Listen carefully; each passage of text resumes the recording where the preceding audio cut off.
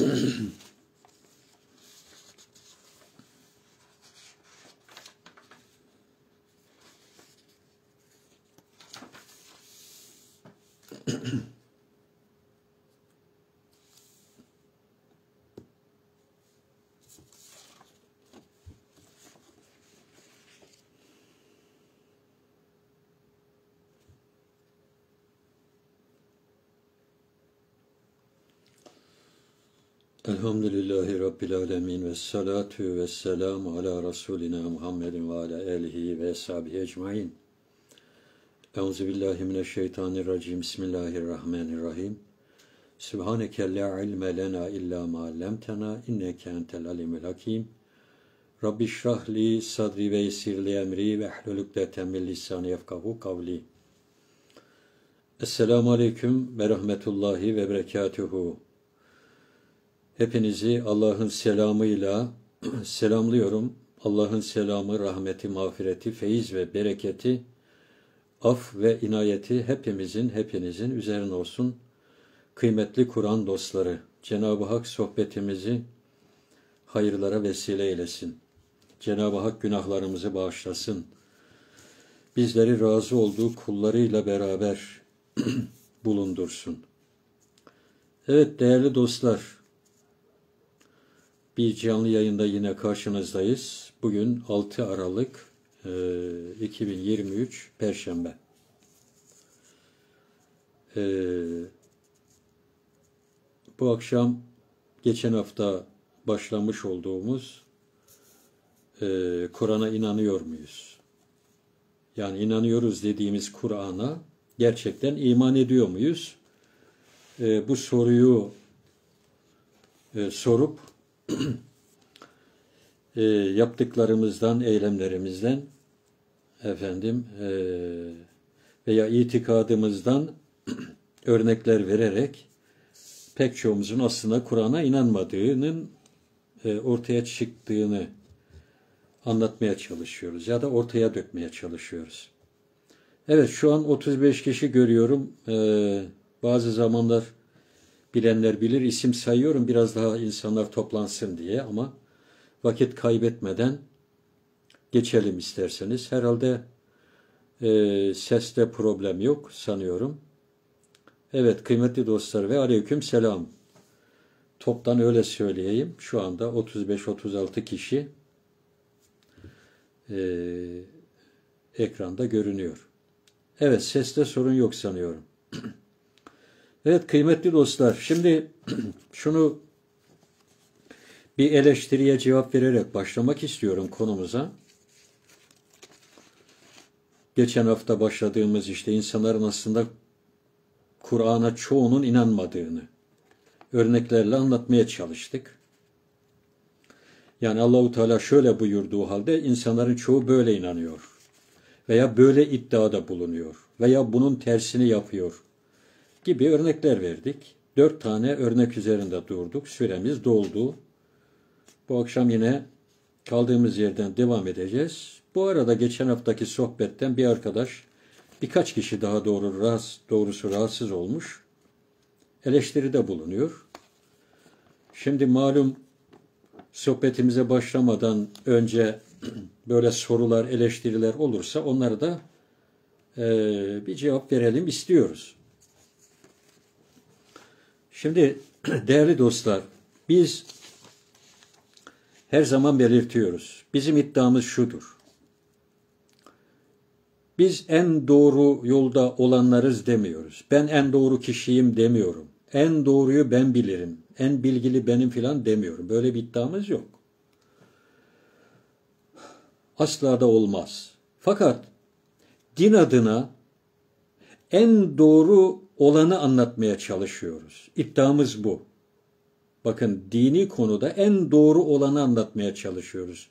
Niye en doğru olanı anlatmaya çalıştığımızı iddia ediyorum? Çünkü en doğru olan kaynaktan konuşuyoruz. Yani dünya üzerinde Allah'ın gönderdiği kitaptan daha sağlam, daha sahih, efendim e, daha kuvvetli, daha doğru bir kitap, bir kaynak var mı? Yok. Dolayısıyla bir kere kaynağı doğru seçmek lazım. en doğru olanından ben konuşuyorum. Yani diyorum ki sizlere de gelin dinin asli kaynağı ve biricik kaynağı olan Kur'an'a yönelelim. Pınarın gözünden içelim. Yani ben temiz bir su içmek istiyorum diyorsanız ki öyle diyoruz. O zaman en temiz suyu kim içer? Kimler içer? Pınarın gözünden içenler en temiz, en leziz sudan içerler. Kaynağın gözünden içerseniz e, en doğru, en sağlıklı suyu içmiş olursunuz. Niye? Çünkü daha gerilerden içmeye kalkarsanız araya bir sürü bir şeyler girer. Atıklar girer, değil mi? Bir sürü başka sular, atık sular o suya karışır. Dolayısıyla efendim e, Pınar'ın gözüne ne kadar yakın yerden içerseniz sağlıklı su içmiş olursunuz. İşte dinin pınarının kaynağı Kur'an'dır. Din pınarının, bin, din menbaının. Allahu Teala onun için e, Zümer suresinde buyuruyor ki bu halis bir dindir. Sakın bu dine hiçbir şey ilave yapmayın. Ama maalesef ilave yapa yapa yapa yapa artık kaynak görünmez hale gelmiş. Artık Allah'ın o güzelim suyu kaybolmuş. Efendim atık suyu bize Allah'ın suyu diye içiriyorlar. Yani uydurulmuş dini bize halis din diye pazarlamaya çalışıyorlar. Biz de itiraz ediyoruz. Yani Kur'an sayesinde bunların atık olduğunu, bunların efendim birer hurafe bidat olduğunu, bunların ilave olduğunu öğreniyoruz. Dolayısıyla öyle pazarda her satılan şeyi efendim hani e, ne derler e, bitli baklanın alıcısı, kör alıcısı mı olur derler. Öyle bir tabir var. Biz kör alıcı değiliz. Çok dikkatli olmamız lazım. Hele din söz konusu olunca gözümüzü dört açmamız lazım. Bakın dünya söz konusu oldu mu gözünüzü dört açmasanız da olur. Çok çok da paranızı kaybedersiniz. Yani bir şey alacaksınız sizi kandırıyor olabilirler. Ucuz malı kaliteli diye satabilirler. Olsun. O kadar da olsun. Ha ona da göz yummayalım ayrı konu. Ama göz yumsak da olur. Çok çok da paramızı kaybederiz. Yani dünyada bir zarara uğrarız. Peki din konusunda aldatılırsak ne olacak? Değil mi? Çünkü din bizim ebedi hayatımızı ilgilendiren bir konu. Ya ebedi hayatımızı kaybediyorsak, burada gözümüzü dört açmamız lazım. Maalesef e, mütedeyyin, dindar insanların pek çoğu uydurulmuş din yüzünden şirk içerisinde yaşıyor Allah'ın bağışlamayacağı o en büyük günah olan şirk içerisinde yaşıyor. Bir taraftan da namazını niyazını kılıyor. ibadetlerini yapmaya çalışıyor. Haramlardan sakınıyor ama şirk içerisinde olduğu için hiçbir ibadeti kabul görmüyor. Biz de diyoruz ki bu insanlara yazık olmasın. Yani Kur'ani hakikatleri onların gündemine taşıyalım, konuşalım. Kurtaralım yani insanları efendim uyandıralım en azından. İtikadının bozuk olduğunu, Kur'an-ı Kerim'in o insanların inandığı gibi bir kitap olmadığını, e, pek çok şeyin uydurulmuş olduğunu insanlara anlatmaya çalışıyoruz. Şimdi bunlar rahatsız olanlar var. Bakın şimdi o eleştirilerden birisini size e, kısaca anlatayım. Geçen haftaki sohbetten. Yani e, bir imam arkadaş, ismini söylemeyeceğim, e, yorum yazmış. Belki okuyanlarınız da oldu. Emekli bir imam arkadaş. Diyor ki bana, e, çok sapık saçmalıyorsun. Şimdi o arkadaş aslında bende ekli filan da değil. Ama emekli bir imam arkadaş, tanıyorum. Benim Facebook arkadaşım değil. Yani biz de birbirimize şey değiliz. İlk defa da benim sohbetimi dinlediğini gördüm, fark ettim. İlk defa. Belki de ilk defa dinledi. Şimdi diyor ki çok sapık saçmalıyor, zırvalıyorsun. Aynen böyle tabir. Ben de yorum yazdım. Dedim ki yani neyi yanlış söyledim söyle öğrenelim. Yani biz Kur'an'ı hakikatleri başımız üzerinde görürüz. Kur'an'ın hakikatlerine değer veririz, saygı gösteririz. Eğer yanlış konuşuyorsak söyle ki düzeltelim kendimizi. Tabi ona cevap vermiyor. Sonra bir e, ilave bir itirazda daha bulunuyor. Diyor ki özetle efendim ehli sünnet alimleri ne derse o. Ee, sen diyor bunlardan niye rahatsız oluyorsun? İşte sen diyor televizyona çıkan hocaları eleştiriyorsun. İşte Nihat Hatipoğlu'nu falan falan. Efendim ele, niye eleştiriyorsun? Bunlar diyorlar kötü bir şey mi anlatıyor? Bunlar diyor peygamberi anlatıyorlar. Sen bundan niye rahatsız oluyorsun diyor. Tabi garibim bilmiyor ki onun anlattığı peygamber o televizyonda filan hocaların anlattığı peygamber Allah'ın gönderdiği peygambere hiç benzemiyor tabi. Garibimin haberi yok ondan. Hiç Kur'an okumamış ki Kur'an'da anlatılan peygamberden haberi yok ki. Yani televizyonda anlatılan peygamber biz onun için itiraz ediyoruz. Onların anlattığı peygambere ben inanmıyorum. Benim inandığım peygamber hiç onların inandığı peygambere, anlattığı peygambere benzemiyor. Ee, dolayısıyla biz Kur'an'da anlatılan peygambere iman etmek zorundayız. Yani Allah'ın gönderdiği peygamber. Yani Allah peygamberleri acaba nasıl tanıtıyor, bunlar nasıl anlatıyorlar? Buna bakıyoruz. Onların anlattığı peygamber bir masal kahramanı.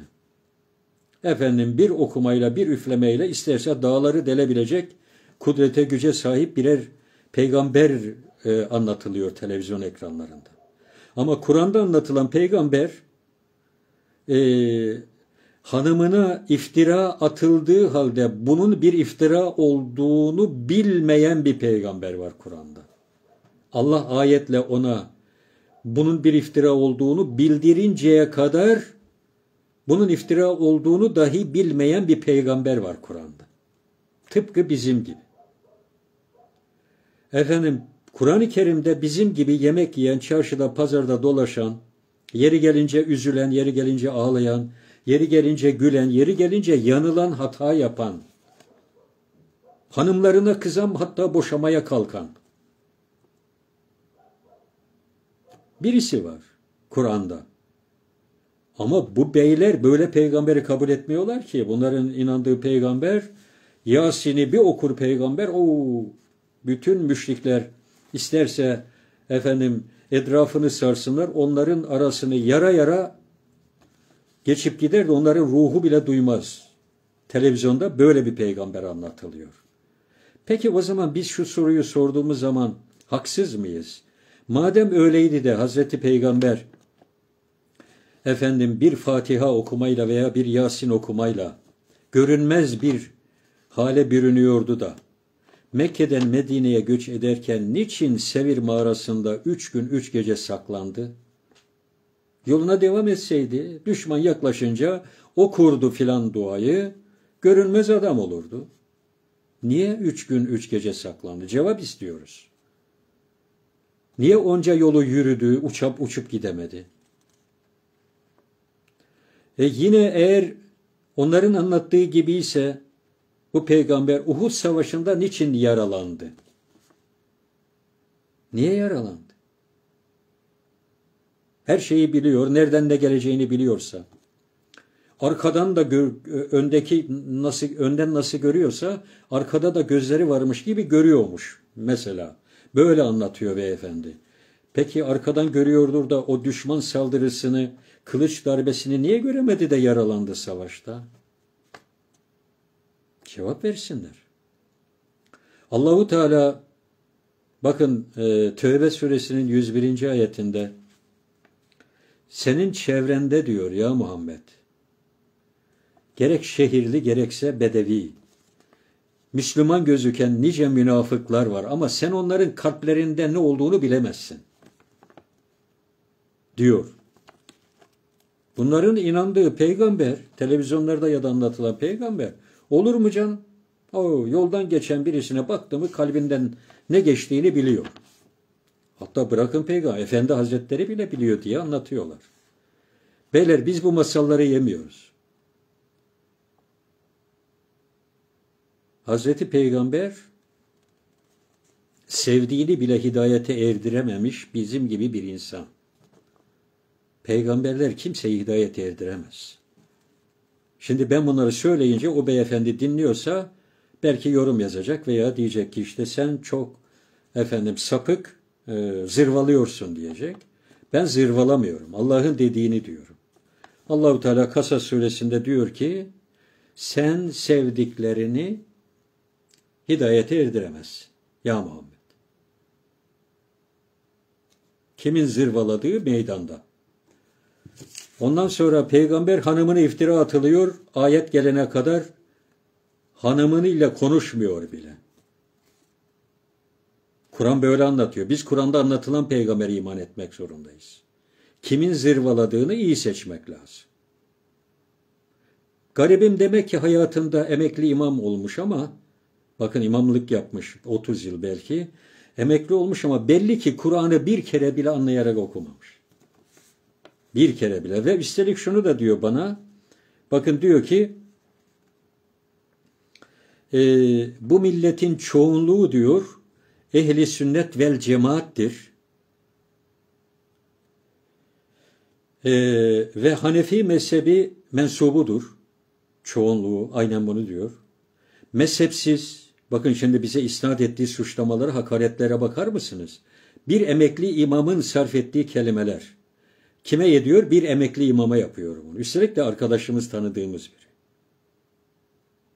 Bakın şöyle diyor. Mezhepsiz, siyonist, hocaların zırvaları bunu kıramayacaktır. Boşuna zırvalıyorsun. Mason, siyan, siyonist akıl hocaların canı cehenneme, yerleri narı cahim olsun diye de beddua ediyor. Ben de bu bedduaya inanın samimi söylüyorum değerli sır, cani gönülden amin diyorum. Amin. Gerçekten de e, efendim mason, siyonist, akıl hocalarının canı cehennem cehenneme, yerleri narı cahim olsun. Peki şimdi sormak gerekmez mi? Kim mason, siyonist, efendim e, şey, siyonist hocaların zirva, şey zirvalarını dinleyerek hocalık yapmış? Kim Siyonizme hizmet ediyor? Şimdi bunu sorgulamamız lazım. Ehli sünnet diye bir din uydurdular. Bakın Hazreti Peygamber ehli Kur'an'dı değil mi?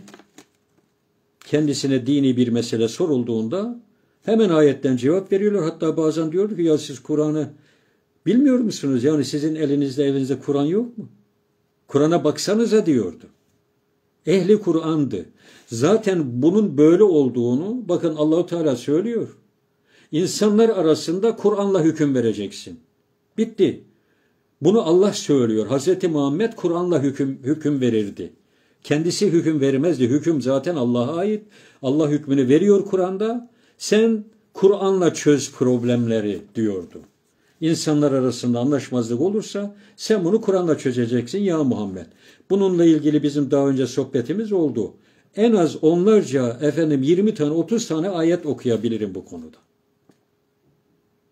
Hatta Enam suresinin o 114. ayetinin mealini yeri gelmişken söyleyeyim. De ki ya Muhammed bak de ki Allah ayrıntılı bir şekilde bir hakem bu kitap bu Kur'an'ı ayrıntılı bir şekilde hakem olarak göndermişken ben Kur'an'dan başka hakem mi arayacakmışım?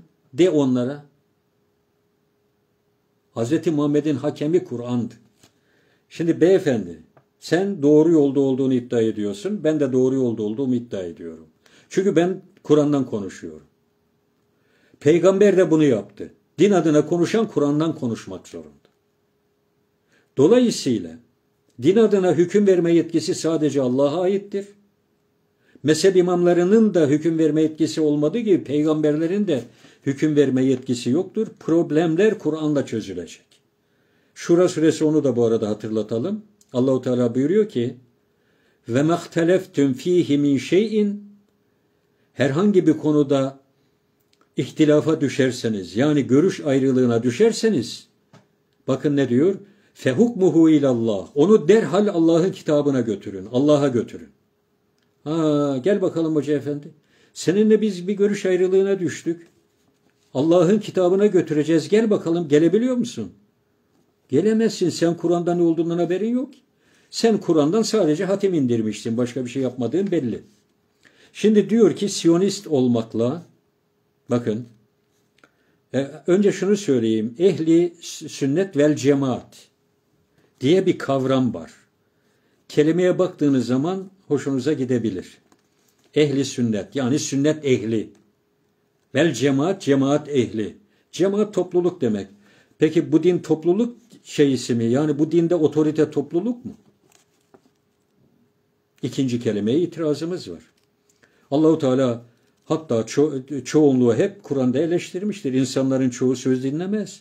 İnsanların çoğu yoldan çıkmıştır. İnsanların çoğu fasıktır. İnsanların çoğu yalana kulak verir. İnsanların çoğu kafirdir, zalimdir, cahildir. Ve cennete çoğunluk değil azınlık gidecektir. Çoğunluk ölçü değildir. Ha şimdi gelelim ehli sünnet kavramına. Bu arkadaş Diyanet'ten emekli bir imam.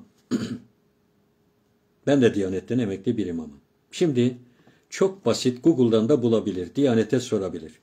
Bakın Diyanet ehli sünnet kavramı hakkında ne diyor biliyor musunuz? Bu kavram diyor bakın ehli sünnet kavramı, ehli sünnet vel cemaat kavramı Hicri birinci yüzyılının sonlarına doğru ortaya çıktı. İlk defa ehli sünnet tabirini ise Hasan-ı Basri kullandı diyor. Hasan-ı Basri. Hasan-ı Basri'nin de doğum tarihi bakın Diyanet'in verdiği bilgileri okuyorum. Hasan-ı Basri'nin de doğumu 642, ölümü 728. 642'de dünyaya gelmiş. Allah'ın Nebisi Hazreti Muhammed Aleyhisselam ne zaman vefat etti? 632. Peki ehli sünnet kavramı demek ki peygamberin vefatından 110 sene sonra ilk defa kullanılmış. Yani peygamber ölmüş gitmiş, bir din yaşamış, ehli sünnet diye bir tabir kullanılmıyor. Peygamberin vefatından 110 yıl sonra ilk defa biri kullanmış. E o zaman sonra ben de soruyorum sana. Peygamberimiz ehli sünnet filan değildi beyefendi. Sen daha ehli sünnetin ne olduğunu bilmiyorsun. Hazreti Muhammed ehli sünnet filan değil. Ehli Kur'an. Problemleri Kur'an'a götürdü. Kur'an'la çözdü. Görevi de oydu zaten. Bunu Emeviler iş başına geldikten sonra bakın öyle yani dehşet bir tarih yaşanmış ki Dört halife gitmiş, İslam diye hiçbir şey kalmamış ortada. 30 yıl. Zaten Hazreti Ebubekir iki yıl yaşadı. Geri kalan Ömer, Ali, şey Osman, Ali toplamı zaten 30 yıl bunların. Ve Ebu Bekir'in haricindekiler de hep suikastla öldürülmüş. Sen hangi cemaatten bahsediyorsun şimdi bana? Hangi cemaat? Toz konduramıyorsunuz ama söyleyin bakalım Hazreti Ömer suikastla öldürülmedi mi? Osman suikastla öldürülmedi mi? Ali suikastla öldürülmedi mi? Hangi İslam'dan bahsediyorsun sen? Hangi cemaat? Ya biraz tutarlı olsunlar bari. Emevilerini getirdiği bir şey mi? Emevilerden sonra kullanıldı bu kelime ilk defa. Siyasi bir terim olarak girdi literatüre. Ehli Kur'an'ı kaldırıp attılar. Yerine ne geldi biliyor musunuz? Ehli sünnet vel cemaat. Ya. Evet. Tabi konumuz bu değil ama bir eleştiriye cevap vereyim diye bu kadar uzattım. Kusura bakmayın ama şunu söyleyeyim üzülerek. Hocalar bana kızabilir. Ben de bir emekli hoca olarak konuşuyorum. Benim onlar arasında çok sevdiğim, saygı duyduğum, efendim Kur'an'ı kendisine referans olarak almış pek çok sevdiğim arkadaşım var. Ama Kur'an'ı efendim e, en çok okuyanlar hocalar biliyorsunuz. Bunlar Kur'an'ın ne dediğini Kur'an'ın ne dediğinin bir cümlesini bile cemaate anlatmadan, tercüme etmeden efendim sadakallahul azim deyip kalkıyorlarsa bunlar zaten Kur'an okumuş falan olmuyorlar. Bu aslında Kur'an düşmanlığından başka bir şey değildir. Benim Facebook'ta pek çok imam arkadaşım var. Samimiyetle söylüyorum. Bu bir gerçek. Ee, üzülerek söylüyorum. Bir sürü dini yazı paylaşıyoruz. Katılmayabilirsiniz. Tamam ona bir şey demiyorum. Bir sürü ayet paylaşıyoruz. Ayet meali bir tane beğeni yapmıyorlar biliyor musunuz? Hocalar ayet beğenmezler. Hepsini kastetmiyorum dediğim gibi. Kur'an'ı referans alan, Kur'an'a gerçekten iman etmiş, gönül vermiş pek çok imam arkadaşım var ama bunlar azınlıkta. Çoğunluk Kur'an'ın ayetini bile Facebook'ta paylaşıyorum. Ben de ekli bir tane beğeni yaptıklarına ben şahit olmadım. Ama ben bir piknik resmi atsaydım, bir sofrada yediğim yemeğin resmini falan, o görüyorum yapanlar var. Anında 30 tane imam beğeni yapıyor. Filan yerde mangal yapmış. Onu beğeniyorlar. Ama ayet beğendiremezsiniz. İşte onlar ne bana hangi ayeti hatırlatıyor bu tavır biliyor musunuz kıymetli dostlar? Hac suresinin e, 74. ayeti hemen aklıma geliyor. Hac suresi 22. sure. 72. ayeti. Bu ayeti defalarca okuduk ama yani nasıl okumayalım şimdi? Yeri geliyor okuyoruz yani. Şimdi tam da yeri geldi. Bakın ne diyor Allahu Teala. Estağfirullah. Ve izâ tütle aleyhim ayatuna beyinatin ayetlerimiz onlara apaçık birer delil olarak, birer belge olarak apaçık. Bakın Kur'an'ın ayetlerin apaçık olduğunu söylüyor. Bununla ilgili inşallah şu başlık altında sohbetimiz bitince Buhari hakkında bir sohbet plan düşünüyorum. Bir de genelimiz şöyle inanıyor. Kur'an anlaşılmaz bir kitap. Kur'an'ı peygamberlerin hadisleri açıklar diye bir inanış var. Bunun hiç asla doğru olmadığını anlatacağız Kur'an'a dayanır. Böyle bir şey yok. Kur'an zaten apaçık. İşte şimdi şu ayeti okuyunca aklıma geldi. Bak ne diyor? Ve izâ tütle aleyhim onlara okunduğu zaman ne ayatuna bizim ayetlerimiz. Nasıl ayetler onlar?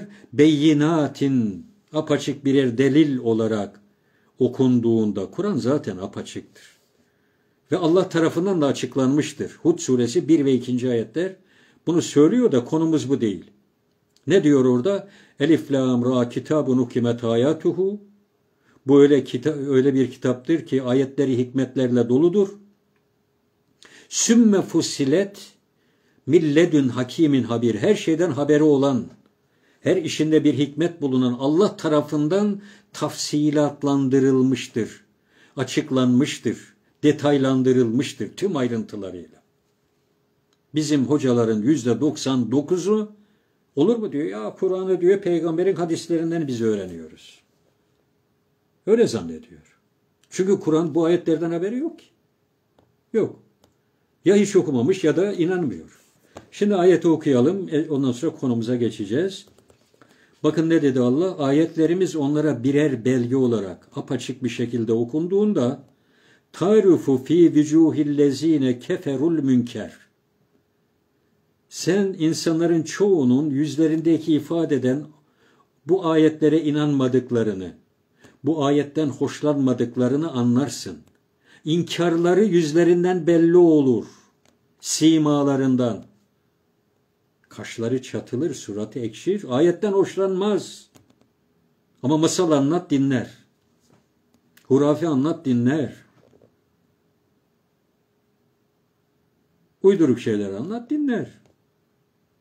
Ama hakikati anlat. Kur'an'ı anlat. Allah'ın dediğini anlat.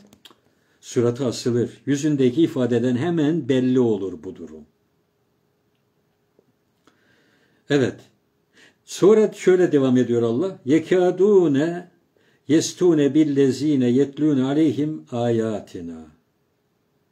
Böyle bizim ayetlerimizi okuyanlara sanki neredeyse saldıracak gibi olur. Öyle bir düşmanlık besler ki, öyle bir nefretle bakar ki böyle elinden gelse ayeti okuyana saldıracak. Saldırıyor işte garibim.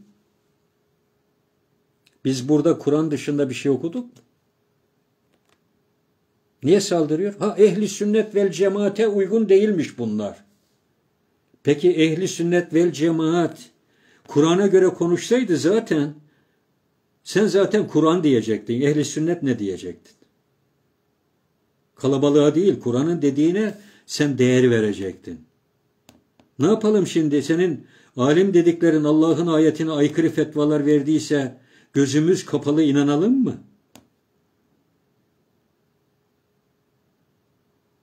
Görüyoruz işte. Dört madde okuduk.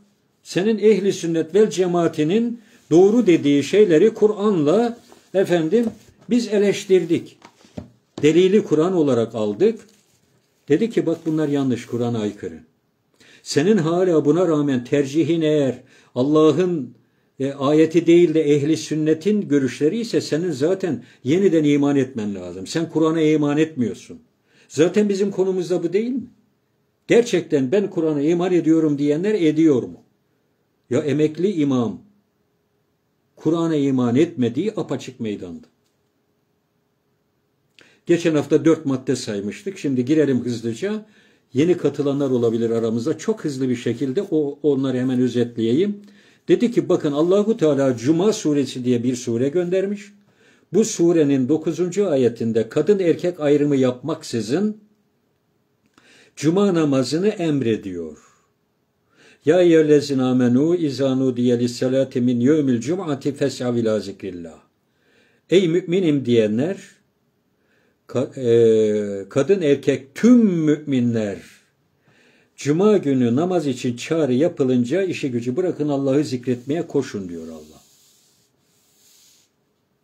Peki bizim ehli sünnet vel cemaat ne diyor?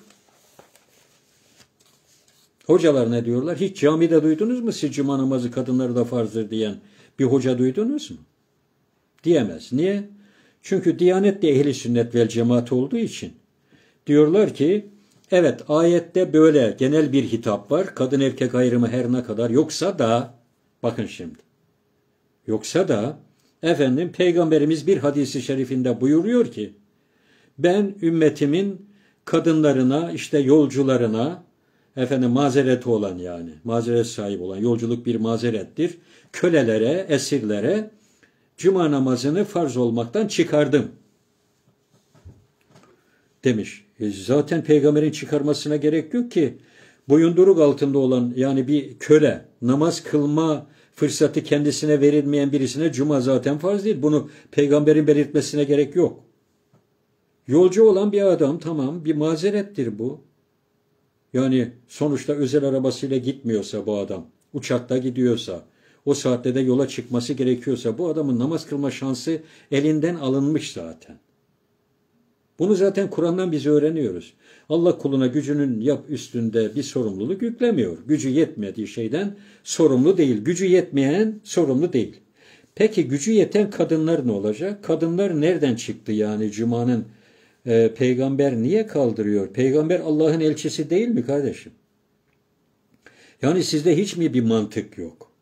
Yani Allah'ın haşa peygamber mi amiri yoksa peygamber mi Allah'ın emri? Amiri. Allah bir, bir şeyi emrediyor, peygamber diyor ya o desin. Bunlar böyle inanıyorlar ha. Allah demiş bir şey ama siz e, rahat olun ey kadınlar ben kaldırdım sizden. Ya hüküm kime ait Allah aşkına ya? Yani Allah bir emir veriyor, peygamber kaldırıyor öyle mi? Ya siz Allah'ı nasıl tanıyorsunuz, peygamberi nasıl tanıyorsunuz? İşte masal kahramanı öyle televizyonlarda dinlediğinizde kalırsanız, televizyonda anlatılanlarla kalırsanız böyle olur işte. Ve hakikati anlatan hocaların karşısında da birer bela olursunuz böyle. Kimseye faydanız yok, zararınız da olur. Sakın bunları dinlemeyin diye kampanya yaparsınız. Kendini mahveder, cehenneme götürürsün, başkasının da uyanmasına, efendim, e, uyanmasına engel olduğundan dolayı onu da cehenneme yollarsın. Yaptığınız tek şey budur. Adam şuna inanıyor ya. Allah ne kadar her ne kadar emrettiyse de kadın erkeğe cuma namazını bizim ehli sünnet uleması bu görüştedir. Peygamberimiz böyle buyurmuş çünkü. Ya peygamber belki öyle buyurmamış olabilir. Sen peygamberin böyle bir söz söylediğini bana ispat edebilir misin? Değerli dostlar, hiçbir sözün peygamberin ağzından çıktığını biz duymadık. Yüzde yüz şu söz peygamberin sözüdür diyemeyiz hiçbir hadis için. Niye? Çünkü hadisler peygamber zamanında yazılmadı. Hatta yasak koydu. Kim kimse benim ağzımdan benim sözlerimi yazmasın Kur'an dışında dedi. Ve sonra diyorlar serbest bıraktı yalan söylüyorlar. Nereden biliyorum yalan söylediğini? Eğer peygamber sonradan sözlerinin yazılmasına müsaade etseydi Ebu Bekir'le Ömer de serbest ederdi. Ebu Bekir 500 tane hadis yazıldığını duyuyor. 500 tane hadisi sokak ortasında yaktırıyor. Bir daha görmeyeceğim, duymayacağım diyor. Hazreti Ömer de peygamber şey e, hadis yazımını yasaklıyor. Hatta Ebu Hureyre'yi defalarca pataklıyor, azarlıyor. Bunu bizzat Ebu Hureyre söylüyor zaten. Ben Ömer ölene kadar diyor peygamber buyurdu ki diyemedim korkuma diyor. Ne zaman hadis rivayet furyası başlıyor? Tahmin edin. İşte bu dört halife gitti. Efendim Emeviler geldi. Emevilerin saltanatı geldi. Muaviye ile Yezid'le zirve yaptı. Hadis pazarları bile kurulmuş. Bir hadis uydursana diye para karşılığında. Millet de sanıyor ki Buhari peygamberin arkadaşıydı. Çoğu böyle zannediyor o camiyi dolduran cemaatin çoğu. Peygamberin yanındaydı bu şey Buhari. Peygamberimiz yaz ya İmam Buhari diyordu. Buhari yazıyordu zannediyor. Ya bilmiyor ki peygamber zamanında ne Buhari var ne bir şey var. Peygamber ölmüş gitmiş. 200 küsür sene sonra Buhari diye birisi peygamberin sözlerini toplamaya çalışmış. Olay bundan ibaret. Yani zan ifade ediyor. Hiçbiri kesin değildir peygambere ait olduğu ispatlanamaz. Sen bana itiraz eden kardeşim, hoca arkadaşım falan hadis var diyorsun ya ya o, o söz peygambere ait değilse ne yapacaksın? Ama ben ben sana ispatla konuşuyorum. Bak diyorum ki falan surenin falan ayetin Allah böyle diyor. Benim nereden konuştuğum belli. Ben ispatlarım Allah'ın böyle dediğini. Ama sen peygamberin böyle dedi dedik dediğin sözlerini hiçbirini peygamberin söylediğini ispatlayamazsın. Çünkü bunu kaleme alanlar peygamberden 200 yıl sonra dünyaya gelmişler. Siz sizden 200 yıl önce yaşamış olan bir büyüğünüzün, aile büyüğünüzün sözlerini toplamaya kalksanız ne derece doğru bunu toplayabilirsiniz? Bununla ilgili inşallah dediğim gibi bu konu bittikten sonra bir sohbet öyle Buhari'nin e, kim olduğunu, gerçek Buhari'yi anlatmaya çalışacağız. Kimseyle bizim kan davamız yok. Kimsenin kuru kuruya ne taraftarıyız ne de düşmanıyız. Öyle yok. Söylediği söze bakıyoruz adamın. Kur'an'a uygunsa başımız üzerinde yeri var diyoruz. Kur'an'a aykırıysa kabul etmiyorum kardeşim. Benim peygamberim bu sözü söylemez. Bu metot da benim metodum değil. Bu İmam Ebu Hanife'nin metodudur. Bakın bir biz, biz diyor İmam Ebu Hanife bir hadisi reddettiğimiz zaman aslında peygamberin sözünü reddetmiş olmuyoruz. Peygambere isnat edilen sözü reddediyoruz. Yani benim peygamberim bunu söylemiş olamaz.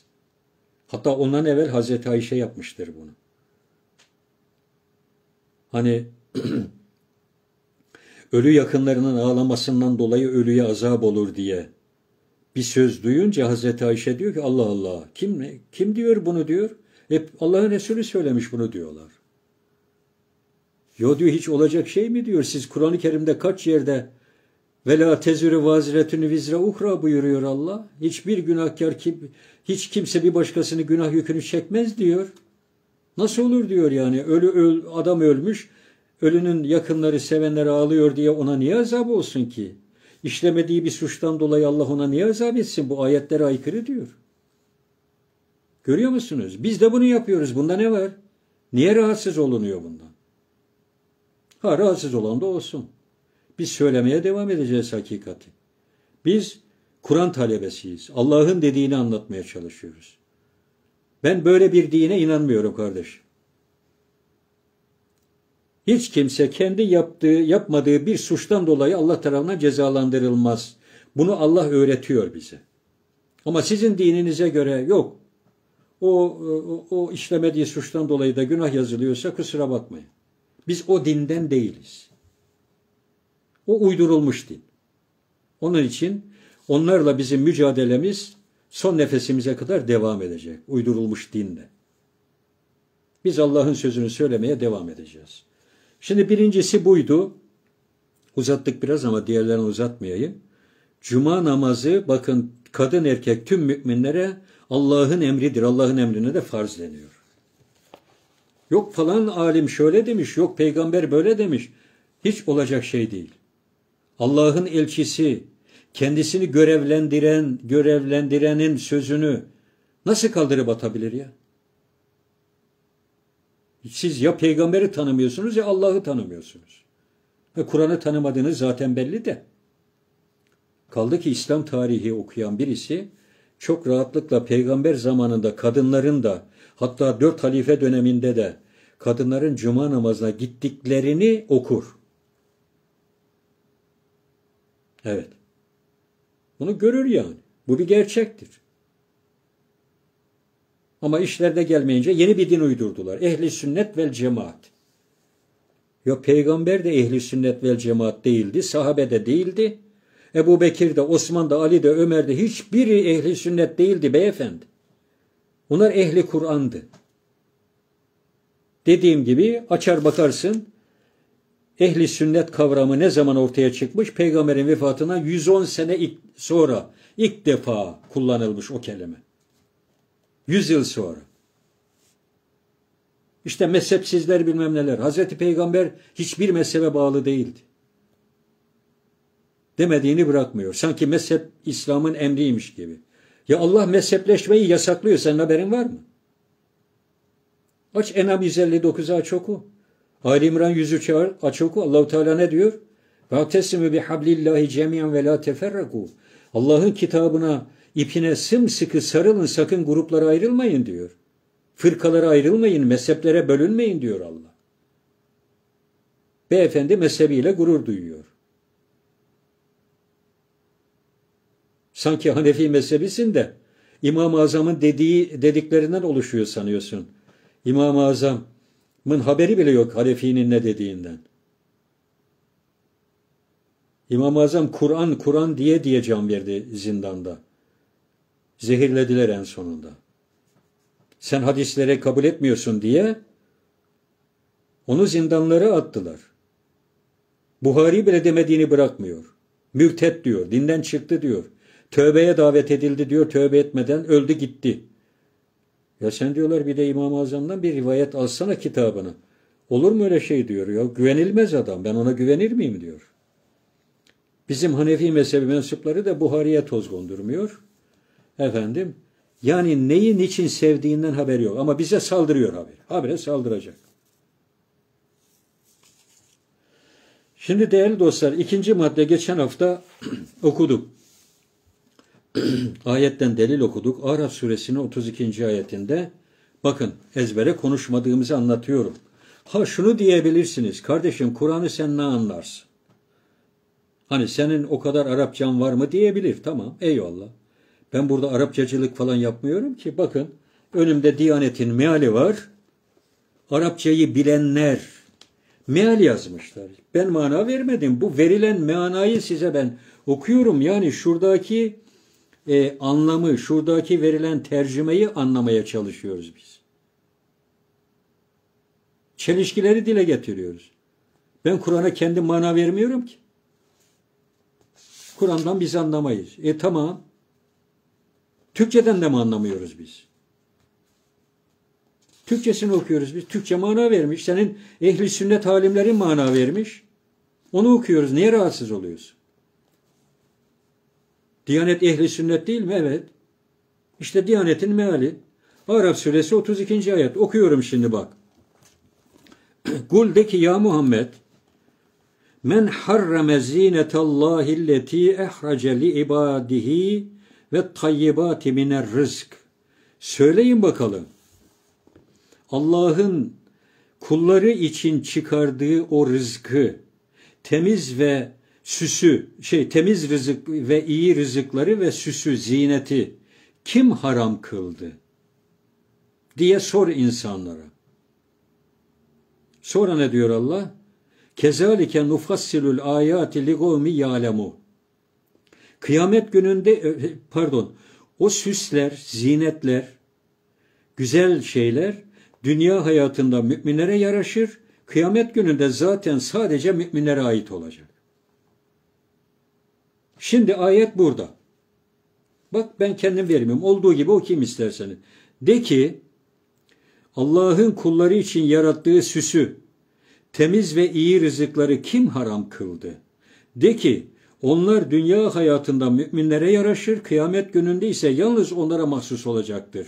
İşte bilmek isteyen bir topluluk için ayetleri böyle açıklıyoruz. Bak yine geldi. Ayetleri kim açıklıyormuş? Allah açıklıyormuş. Şimdi gerideki konumuzla ilgili bölüme gelelim. Ne dedi? Onlar dünya hayatında müminler için ahirette zaten sadece müminlere verilecek. Ney? Efendim güzel rızıklar, temiz şeyler ve süs. Peki burada zinet deyince ayetin orijinalinde zinet var zaten. Zinet diyor Allahu Teala. Men harreme zinet Allah. Allah'ın zineti. Zinet süs demek. Süs eşyası zinet. Yani altın, bilezik neyse. Ne diyor bizim ulema? Ehli sünnet. E, ipek ve altın erkeklere haram. Delilin ne? E peygamber böyle buyurdu. E Allah ben serbest ettim dedi. Kim haram kılmış dedi. Kim haram kılabilir diyor Allah. Peygamber haram kılabilir mi? Hiç mi mantığınız yok? Yani bu kadar mı Kur'ansız kaldınız? Ondan sonra ben sapıtmış oluyorum öyle mi? Ya senin ehli sünnet dediklerin sapıtmış. Senin haberin yok. Kur'an'a uyan mı, Kur'an'ı savunan mı sapıtmış olur? Yoksa Kur'ansız bir uyduruk dini savunanlar mı? Allahu Teala ben zineti haram kılmadım diyor kardeş. Senin dinin başkaysa ben ona karışmam. Benim dinimin kurallarını Allah koyuyor. Şu kitap koyuyor. Benim dinim burada. Allah da mahşer günü ben sizi Kur'an'dan sorumlu tutacağım diyor. Zuhruf suresi 44 açar bakarsın. Hatta alim diye, Allah dostu diye, evliya diye körü körüne birilerini peşi sıra gitmeyin diyor. Allah'ın size indirdiği kitaba uyun. Araf suresi 3. ayet. Hiç haberin var mı bu ayette? Yok. Ama dil pabuç gibi saldırıyor. Ya git. Git bari cahilliğine yani sus da ne kadar cahil olduğunu anla tövbe et. Evet. Şimdi peki zinet haramdır diyenler Kur'an'a inanıyorlar mı? Erkeğe haramdır ipek elbise, altın yüzük diyenler soruyorum ben. Bunlar ha takmayabilirsin kardeşim ben de takmıyorum. Ben ne gümüş takıyorum ne altın takıyorum. O senin zevkindir ayrı konu. Ama haramdır demek başka bir şey. Allah haram kılmış mı? Hayır. Hangi ayette geçiyor bu? Geçmiyor. Tam tersine haram kılmadım dedi. Bak ayet delille delili okuduk. Araf suresi 32. ayet. Hangi ayete dayanarak haramdır diyor bu ehli sünnet? Hocaların yüzde 99'u altın erkeklere haram diyor. İpek elbise de haram diyor. Peki bunlar şimdi Kur'an'a inanmış mı oluyorlar? Kur'an'a inansalar haram değil demeleri lazım. Cuma namazı kadınlara farz değildir diyenler acaba Kur'an'a inanıyor mu Cuma suresine? Allah kadın erkek demiyor. Ey kadın ve erkek müminler Cuma günü Allah'ı zikretmeye koşun diyor. Allah'ın kitabına inanan bir adam Cuma namazı kadınlara farz değildir diyebilir mi? E diyorlar ama gene de çok onlar hem hoca hem de dört dörtlük Müslüman olur mu canım? Aa. Cuma kadınlara farz değildir. İpek elbise ve altın yüzük erkeklere haramdır. Ben Kur'an'ı da çok seviyorum. Diyor adam. E seviyor olabilirsin de Kur'an'a inanmıyorsun ama. İnanmadığın belli şu söylemlerinden. Üçüncü madde geçen hafta üzerinde durduğumuz Allah dinde zorlama yok dedi. Ama dinden döneni dinen, dönen öldürülür ehli sünnete göre. Ehli sünnet vel cemaate göre bu arkadaşın dinine göre demek ki onların dini farklı. Allah'ın kitabı onların diniyle ilgili bir kitap değil demek. Allah ne derse desin onların umurunda değil. Allah dinde zorlama yok demiş. Allah yanılıyor canım. Allah ne bilir ya. Ehli sünnet ne derse o. Ehli sünnet öldürülür dedim abi tamam mesele bitti. Ehli sünnet düşmanı hocaların diyor yeri nari cahim olsun. Bir de siyonist falanmışız biz. Efendim emperyalistmişiz. Ben ne olduğumu biliyorum da sen ne olduğunu farkında mısın acaba hoca efendi? Evet, dördüncü madde uzatmayalım. Allah özel durumlarda bulunan kadınlarla alakalı Bakara suresi 222. ayette sadece bir yasak koymuş. O da cinsel birlikteliktir. Karı koca ilişkisidir yani. Erkeklere diyor ki hanımlarınıza o dönemdeyken sakın cinsel amaçla yaklaşmayın. Temizlendikleri zaman yaklaşabilirsiniz. Başka bir yasak var mı? Yok. E Kur'an'da her şey var mı diyor şimdi. Var diyor Allah. Dininizi kemale erdirdim diyor Maide suresi 3. ayette. Biz bu kitapta hiçbir şey eksik bırakmadık diyor Enam suresi 38. Efendim Zümer suresi 27. Her şeyden misaller örnekler verdik. Enam suresi 114 demin sohbetin başında okuduğum, mealini sunduğum ayet. Allahu Teala e, tüm ayrıntılarıyla açıklanmış bir kitap göndermiş hakem olarak. Böyle bir hakem dururken başka, ben başka bir hakem mi arayacakmışım diye insanlara. Neyi aradın da sen Kur'an'da bulamadın? Eğer Kur'an'da gerçekten önemli bir konu var da Kur'an'da bahsedilmemişse Allah haşa o zaman yalan söylüyor. Biz kitapta hiçbir şey eksik bırakmadık diyor. Bırakmış halbuki öyle mi? Kur'an'da olmayabilir diyor beyefendi. Özel durumda bulunan kadınlar diyor. Bakın şimdi. Kur'an'a el süremez diyor. Camiye giremez. Kabe'yi tavaf edemez. E, efendim namaz kılamaz. Oruç tutamaz. İşte hatta kimisi bazıları da duyuyoruz. E, tıpkı Yahudilerin yaptığı gibi bakın. Bana Siyonist diyen arkadaş kulakları çınlasın. Siyonist Yahudilere deniyor. Yahudilikte var. Onlar diyorlar ki adet gören kadının pişirdiği de yenmez diyorlar. Yıkadığı da giyilmez. O senden daha hassas. Ben tam tersini söylüyorum Siyonistlerin dediğinin. Sen daha Siyonistin ne olduğundan haberin yok demek. Yahudilere göre adet olan kadınlar hatta kocasıyla da yatamazlar aynı yatakta. Bırakın cinsel birlikteliği aynı odada da yatamaz. Başka bir ayrı bir oda olacak bir hücre adeti bitene kadar evin dışında tutuluyor. Senin ehli sünnet de onlara yakın yani. Hangi gerekçeyle sen haramlar koyuyorsun bakayım? Söyle bakayım. Haram ne demek? Haram Allah'ın yasakladığı şey demek.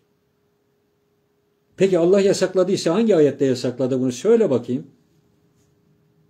Söyle ya bir bilelim biz de öğrenelim, tövbe edelim. Yanlış söylemişiz diyelim. Hangi ayette? Allah yani cinsellik kadar önemli değil mi namaz? Bu durumda olan ay hali gören kadınlar, ey Muhammed sana ay hali gören kadınların durumuyla alakalı sorular soruluyor. Onlara de ki işte o bir sıkıntıdır. Bugünlerde kadınlarınıza cinsel amaçla yaklaşmayın diyor Allah. Peki Allah cinselliği bu kadar bakın bununla ilgili ayet gönderdi de haşa bu durumda olan kadınlar namaz kılmasın diye namaz kadar önemli bir konuda ayet göndermeyi unuttu mu? Oruç tutmasın demeyi unuttu mu? Kur'an'a el sürmesin demeyi unuttu mu? Kabe'yi tavaf etmesin demeyi unuttu mu? Haşa. Allah unutur mu? Ondan sonra biz bu kitapta hiçbir şey eksik bırakmadık diyor Allah. Canı bırakmış öyle mi? Böyle mi inanıyorsunuz siz Allah'a? İşte bu dini böyle ilave yapa yapa yapa Allah'ın dini olmaktan çıkardılar. Efendim onun bunun her önüne gelenin bir madde eklediği bir din haline getirdiler.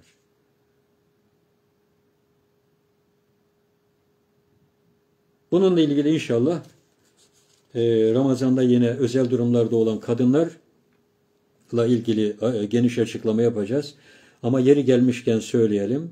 Özel durumda bulunan kadın cinsellik dışında ona yasaklanan hiçbir şey yoktur değerli dostlar. Allah'ın yasaklamadığını kimse yasaklayamaz. Peygamber bile hüküm koyamaz. Allahu Teala ne diyor? Zerre kadar Kur'an'ın dışına çıkamaz. Benim demediğim bir şeyi benim üzerime atıp da Allah böyle buyurdu diyemez. Böyle bir şeye yeltenirse onu şah damarını koparırız diyor Allah. Bir bakın bakalım ya peygamberin görevi neymiş? Neleri yapabilirmiş, neleri yapamazmış bir gör oku bakalım Kur'an'ı ya. Arapçasını okuyup okuyup da sadakallahu lazim el Fatiha demekle bu işler bitmiyor.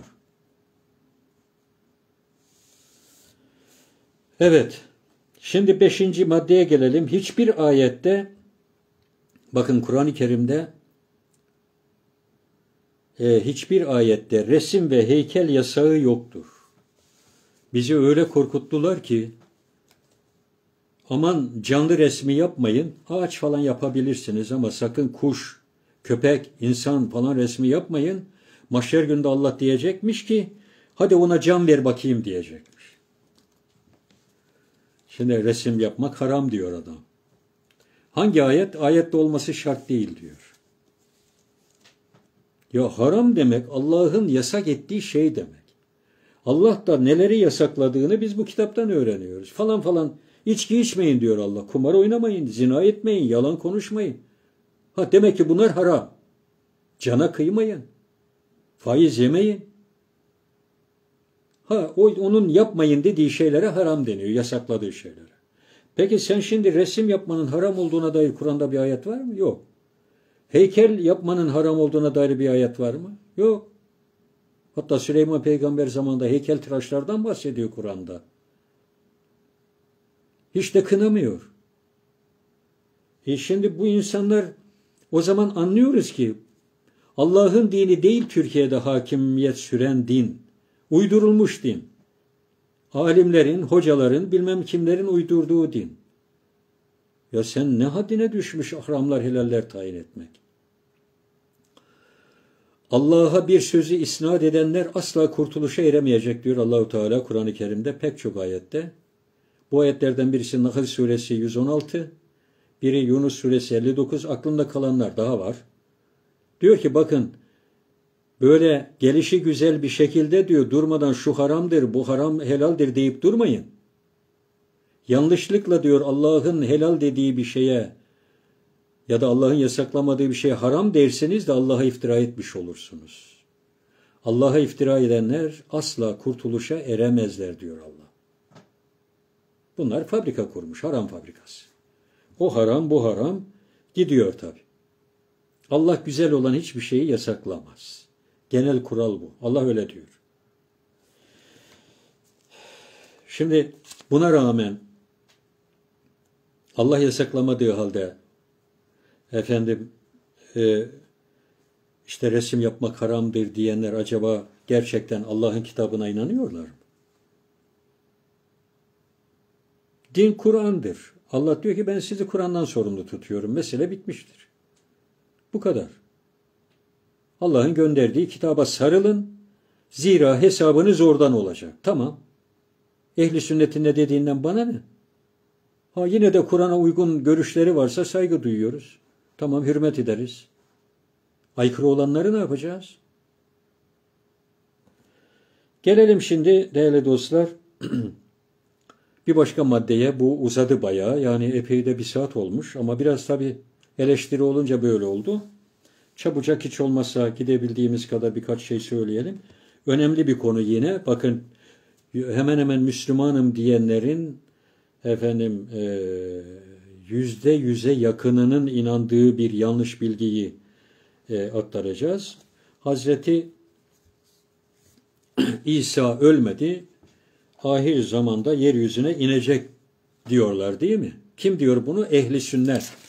Şimdi birisi dese ki e, İsa öldü dese ne diyor? Zırvalıyorsun diyor. Ehli sünnet ölmedi diyor ya. E tamam da Allah da öldü diyor. Ne yapacağız şimdi? Hoca efendi, sana göre ben zırvalıyorum değil mi? Niye? Çünkü ehli sünnet vel cemaat dedi ki o İsa ölmedi ahir zamanda dünyaya inecek dedi değil mi? Onun için ben zırvalıyorum. Peki Allah da öldü dedi. O zaman ehli sünnet zırvalamış olmuyor mu? Sen zırvalamış olmuyor musun? Allah öldü diyor. Kur'an'ın bir ayetini alıyor, diğerine bakmıyor. İsa Aleyhisselam'ı çarmıha germişler. Asılı bir vaziyette ellerini çiviye çakmışlar. Bir şeye bağlamışlar çarmıha. Efendim geceden onu terk etmişler öyle bırakmışlar. Ölüme terk etmişler. Oradan birisi gelmiş. İsa Aleyhisselam'ın ellerini oradan çözmüş. İsa kaçmış gitmiş. Başka bir yerde yaşamını sürdürmüş uzun yıllar ve normal eceliyle ölmüş. Şimdi ayette Allah diyor ki onlar onu asmadılar ve öldüremediler. Onlara öyle göründü diyor. Şimdi geliyorlar bakıyorlar İsa orada yok. Allah Allah diyorlar ya. Bu ne oldu? Bunu kim buradan şey yapabilir falan? Diyorlar ki herhalde Allah bunu katına aldı diyorlar. Olay bundan ibaret. Bunların inancı bu. Ya bir adam bir yerde e, e, bulunamadıysa o onun göklere çıktığı anlamına mı geliyor yani?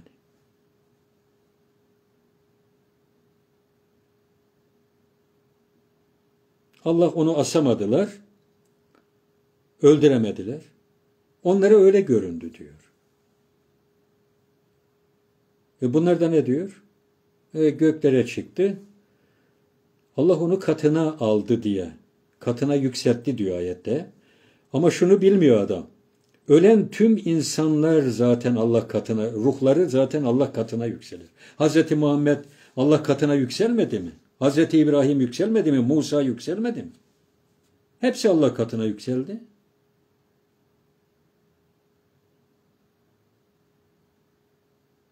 Şimdi gelelim. Bakın şimdi. Kur'an ne derse desin bunların inanın umurunda değil. Bir kelimeyle, bir şeyle beraber bizi korkutmaya çalışıyorlar. Ehli sünnet vel cemaat. Sakın bunları dinlemeyin diyor. Bunlar ehli sünnet vel cemaatten değil. Ha bunu dinleyin bu ehli sünnet vel cemaat alimlerdendir diyor. Böyle hocaları da bir takım gruplara ayırıyorlar. Bilmiyor ki ehli sünnet, peygamber de ehli sünnet değildi. Sahabe de değildi, hiçbiri değildi.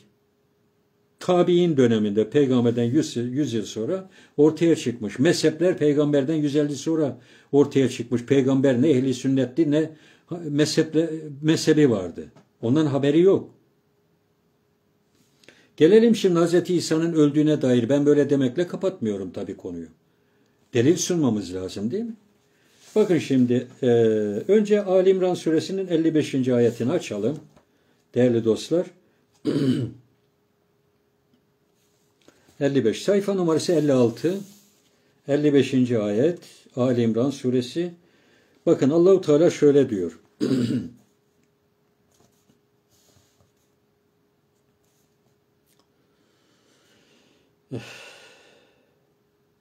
Estağfirullah. İz galallahu Allah şöyle dediği zaman dediğinde ya da dedi diyelim ya da ya İsa ey İsa inni müteveffike ben seni vefat ettireceğim. Bak ayet meydanda. Şüphe yok ki ben seni vefat ettireceğim. Ve rafiuke ileyye. Seni bana yükselteceğim. Katıma yükselteceğim. Ya tüm peygamberler öldüğü zaman zaten Allah katına yükseliyor. Ruhları. Zaten ayette ben seni öldüreceğim diyor da Allah. Allah sözünde durmamış oluyor. O zaman öldüremedi. Gökleri aldı öyle mi?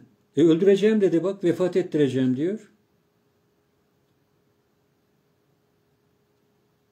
Şimdi bu bir. Bakın Ali İmran suresinin 55. ayeti. Gelelim buradan Enbiya suresini açalım.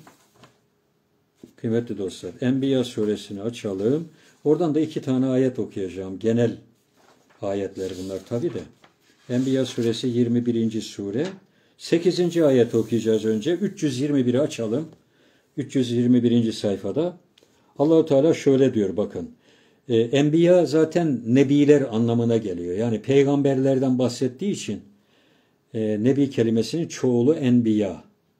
Nebi peygamber demek, enbiya peygamberler demek. Burada değişik peygamberlerden bahsediyor. İşte Musa'dan, İsa'dan, efendim Nuh'tan bahsediyor ve burada şunu söylüyor Allahu Teala. Diyor ki 8. ayeti okuyalım. Bismillah.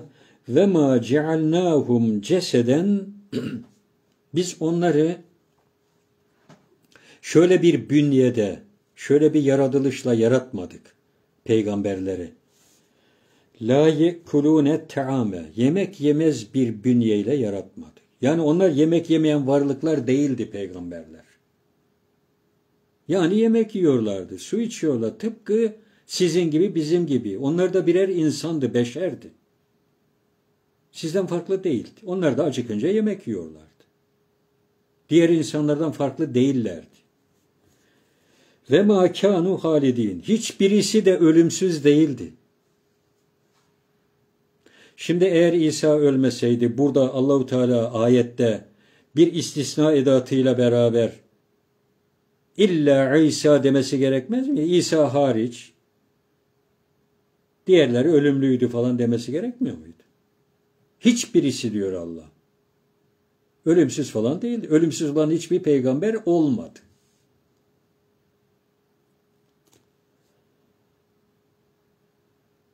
Bakın şimdi buradan gene Enbiya suresinden hemen arka sayfayı açalım. 323 bir arkanın karşısı yani. 323. sayfayı açalım. 34'ü okuyalım. 34. ayeti okuyalım. Bakın burada da Rabbimiz şöyle buyuruyor. Bismillah. Ve ma cealna li beşerin biz hiçbir beşeri kılmadık. Min gablikel hult senden önce de ya Muhammed hiçbir insana kalıcılık yani ölümsüzlük vermedik. Hz. Muhammed'e söylüyor. Ya Muhammed biz senden önce hiçbir insana ölümsüzlük vermedik. Burada İsa hariç falan dedi mi? Yok.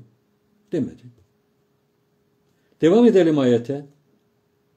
Efe immitte fehumül halidun.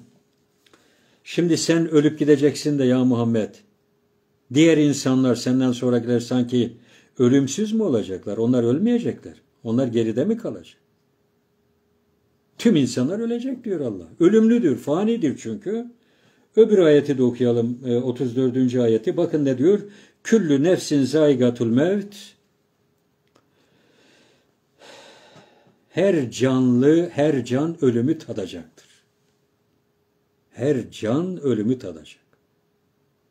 Hz. Muhammed can değil mi? İsa can değil mi? Mesele bitmiştir. Kur'an böyle bir şey anlatıyor bize. Daha ne desin? Ama ehli sünnet dini demek ki farklı. Onlar ya Kur'an'a iman etmiyorlar ya da onlara ayrı bir kitap gönderdi Allah. O zaman biz de Allah'ın sorduğu soruyu sorarız onlara. Kalem suresindeki pardon Hucurat suresinin 16. ayetini hatırlatırız. Ee, Kul etualliman Allah'e bidinukum. Yoksa siz Allah'a din mi öğretiyorsunuz? Yani Allah cahil, haşa. Allah bilmiyor. Sizin ehli sünnet ona din öğretiyor öyle mi? Veya Kalem suresi 36-37'yi hatırlatırız. Orada da mealen Allahu Teala diyor ki yoksa sizin bu Kur'an dışında başka kitabınız var da bu bilgileri o, o öteki kitaptan mı alıyorsunuz siz? Ehli sünnetin başka kitabım var değerli dostum. Soruyorum. Onların kitabı Kur'an değil mi? Onlar Kur'an'a iman etmiyorlar. Onlara Allah ayrı bir kitap mı gönderdi? De bu Kur'an'da hiçbir e, dedikleri uyuşmuyor. Allah başka bir şey söylüyor, bunlar başka bir şey söylüyor.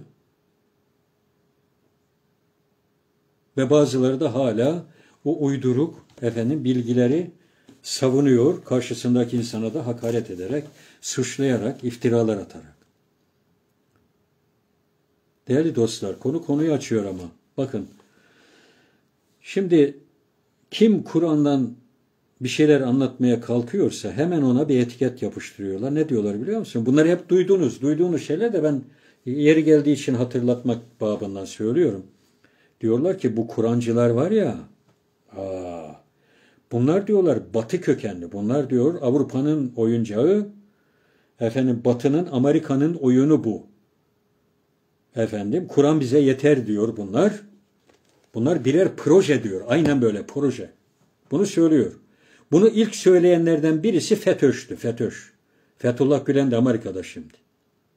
Bunlar Amerika'nın uşağı diyordu Kur'ancılara. Kendisi kimin Amerikan uşağı olduğunu gördük. Orada Pensilvanya'da yatıyor şimdi. Besliyorlar onu. Amerikan uşağı olmasa orada beslerler miydi onu? Kimin Amerikan uşağı olduğunu gördük değil mi? Ama Kur'an'ı anlatanları Amerika'nın uşağı diyorlar. Ondan sonra bunu Cübbeli Ahmet tuttu, Nihat Hatipoğlu söyledi, efendim Ebu Bekir Sifili söyledi. Söylüyorlar da söylüyorlar. Ekran hocaları. Zaten Kur'an'dan konuşanları oralara çıkarmıyorlar. Onu bilin yani. Bu Kur'ancılar diyor efendim birer proje. Doğru. Ben de inanıyorum. Kur'an proje ama Batı'nın veya Amerika'nın projesi değil. Kur'an Allah'ın projesi. Bilme, siz burada yanılıyorsunuz. Kur'an Allah'ın projesi. Neymiş bunları Amerika yaptırıyormuş da Avrupa yaptırıyormuş da ya az biraz yani gülünç olmayın. Ya Avrupa Kur'an'dan razı mı ki Kur'an onların projesi olsun? Ya bir sorgula bir düşün ya. Batı dediğin o güçler, o Amerika'sı, Avrupa'sı yani Kur'an onları Kur'an onlar çok seviyorlar da mı Kur'an onların projesi olsun? Onlar Kur'an'dan rahatsız olurlar. Onların Kur'an'dan rahatsız olduklarını biz biliyoruz ve görüyoruz İslam alemini bin bir parçaya böldüler. Aman şu Kur'an'ı bırakın. Git bir tarikat kur, git bir cemaatte sen kur. Ceplerini paralarla dolduruyorlar. Türkiye'ye tarikatlar cennet haline getirildi. Bakın İsrail'de şu anda İslam Üniversitesi var biliyor musunuz? İsrail'de İslam Üniversitesi var. Peki İsrail İslam'a hayran mı? Yani Müslüman mı ki İslam Üniversitesi olsun İsrail'de? Bunu düşünmek lazım değil mi? Neden acaba? Ha işte ne olduğunu ben söyleyeyim size. İşte orada İslam adına uyduruk bilgileri, Kur'an dışı bilgileri efendim ediniyorlar. Geliyorlar Türkiye gibi ülkelerde başlarında birer sarık, birer cübbe, birer şal var. Efendim birer baston kollarına para istedikleri kadar bol diyorlar ki sen bir tarikat kur Türkiye'de konuş. Git arkanda biz varız. İşte böyle oldu. Allah beri taraftan ayette sakın gruplara ayrılmayın. Sakın mezheplere ayrılma, bölünmeyin. Birlik olun. Allah'ın kitabına sarılın demiş. Kimin umurunda? Kimin umurunda? Bak Suriye'de İslam alemi ikiye bölündü.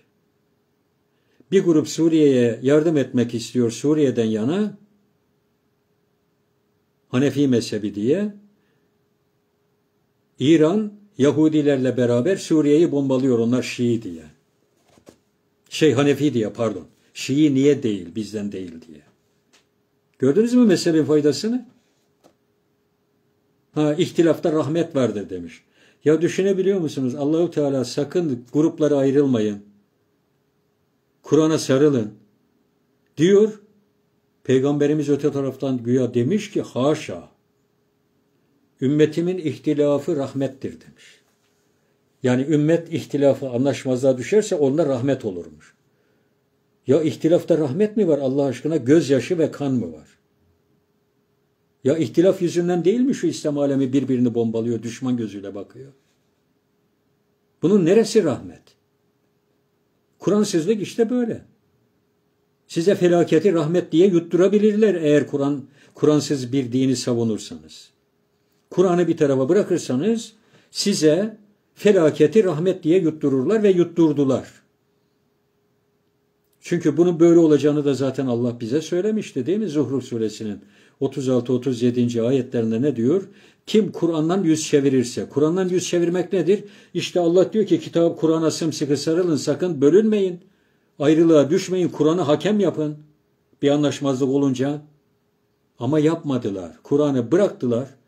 Allah da diyor ki kim Kur'an'dan yüz çevirirse şeytanlar onlara dost olur. Onları kolunun altına alır. Onun ayrılmaz bir dostu olur. O kişiye her türlü yanlışı yaptırır da o kişiler hala doğru yolda olduklarını iddia ederler. Öyle olmadı mı? Ey ehli sünnet vel cemaat. En doğru sizsiniz öyle mi? Ya.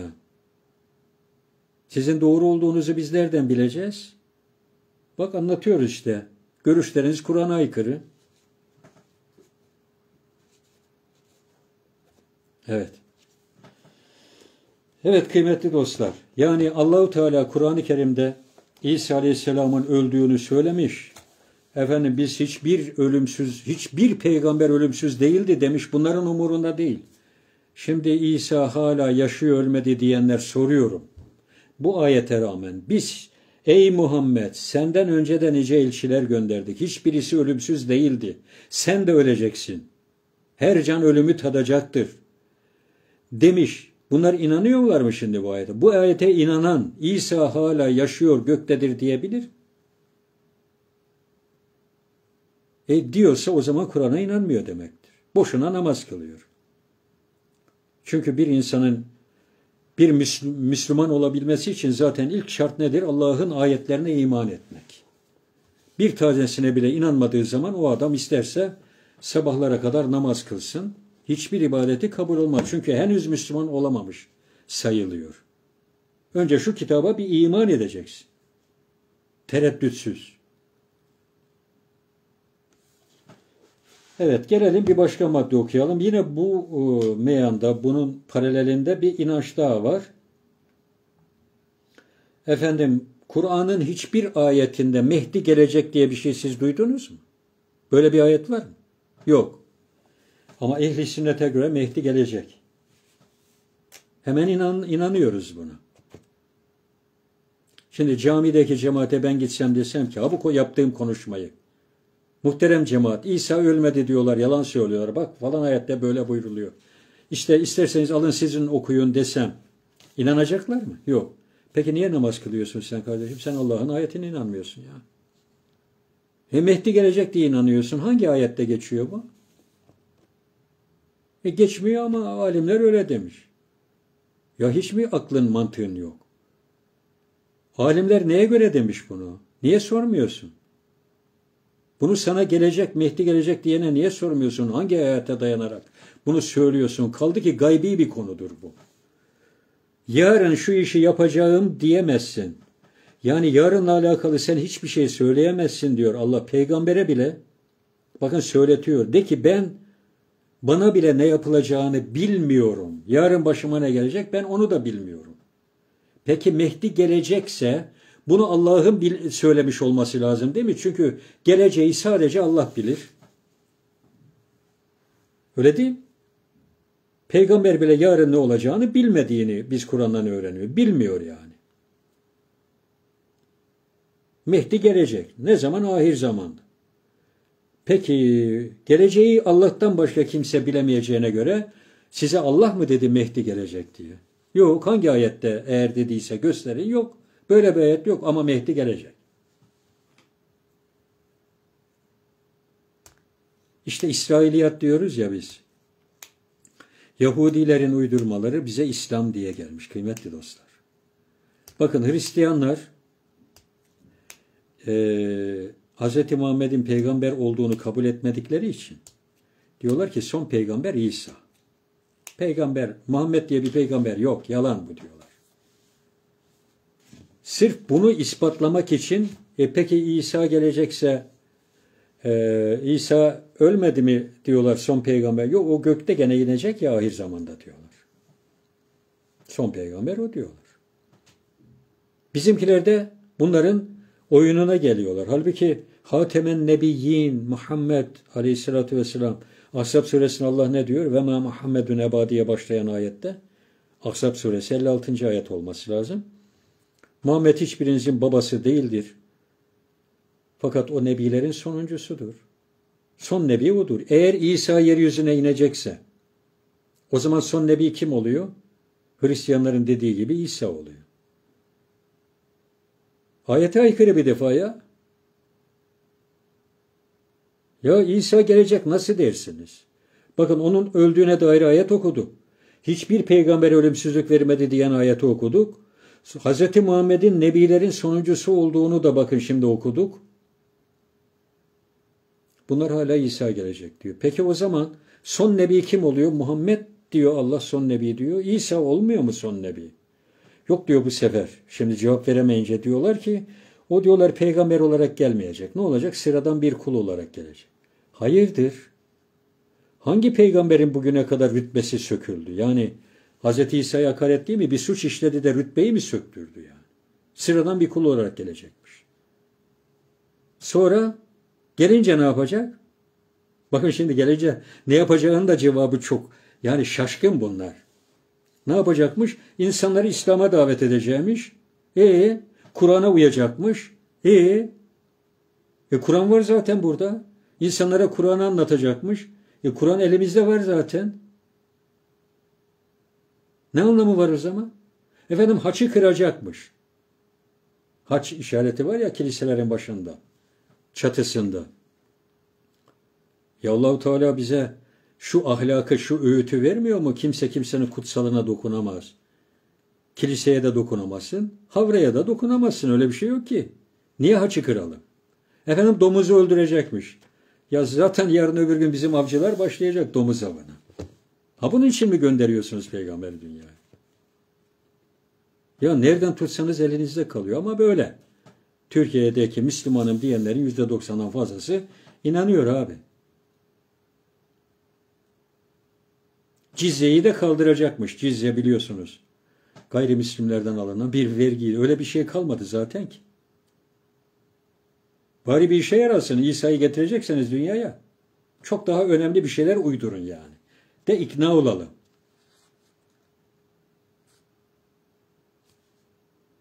Ya bu kadar gülünç olmayın yani. Evet değerli dostlar ne Mehdi gelecek